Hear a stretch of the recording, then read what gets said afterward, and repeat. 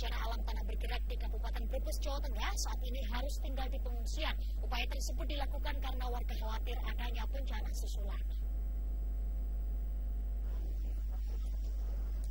Bencana alam tanah bergerak yang terjadi di Desa Cinangas, Kecamatan Bantar Kaung, Kabupaten Brebes, Jawa Tengah pada Kamis pekan lalu membuat puluhan warga kini harus menetap dan tinggal di tenda pengungsian.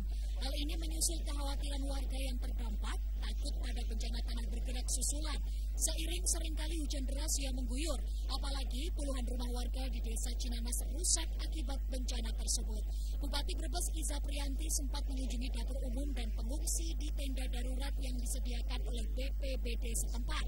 Pemerintah kabupaten juga berencana akan menunggu hasil tim geologi tentang kondisi alam di desa Cinanas, khususnya yang berada di dusunnya Kokor.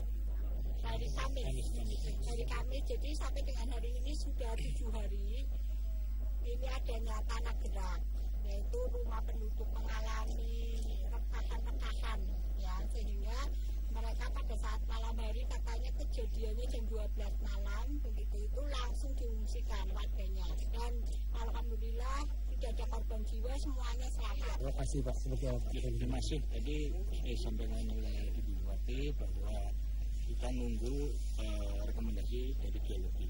Nanti kalau dari, uh, dari geologi itu memang uh, direlokasi, ya relokasi harus direlokasi bisa.